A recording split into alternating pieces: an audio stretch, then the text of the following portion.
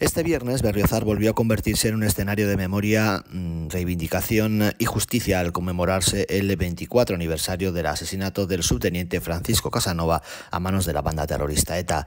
Memoria, dignidad y justicia fueron precisamente los estandartes que guiaron tanto el discurso de Vecinos de Paz como los pasajes musicales evocados por el cantautor José Vives y por el grupo Jotero encabezado por Laura Casanova, hija del subteniente asesinado.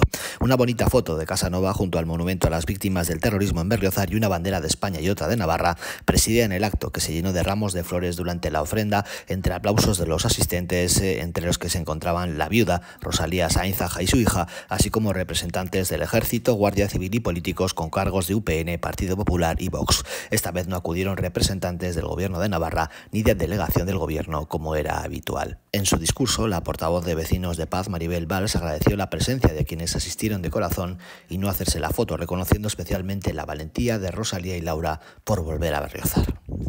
No corren, no corren buenos tiempos y estos homenajes son sumamente necesarios.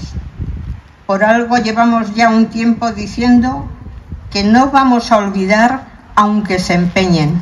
Sembran terror, quisieron aplastar su vida, su voz, su dignidad. Porque no existe razón